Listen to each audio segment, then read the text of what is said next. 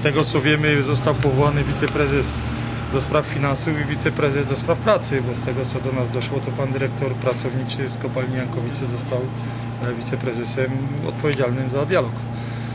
Znając e, tego człowieka akurat no liczę, że e, zasady funkcjonowania zarządu pod kątem dialogu powinny być już zmienione. Także liczę na pozytywne otwarcie.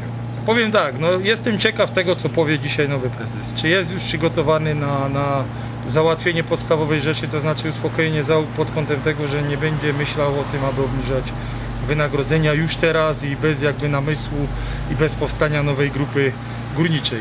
Jeżeli to zostanie jakby oddalone, to ja twierdzę, że wszystkie inne rzeczy, które są naprawdę tak najważniejsze w tej firmie, to znaczy chodzi o PT i chodzi o zabezpieczenie bieżącej produkcji, bo dzisiaj mamy już niewykonane zadania w kompanii węglowej i wydobywczej i robót przygotowawczych, to jest ważniejsza sprawa. My chcemy przecież w nowej grupie przynosić zyski, a nie straty.